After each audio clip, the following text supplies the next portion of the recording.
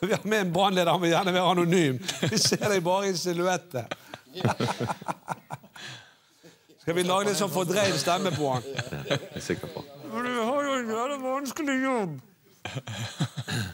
Ikke så lett å Der kom lyset på. Hører du meg nå? Jeg både hører og ser deg. Se i kamera hele tiden. Ja. Ja da.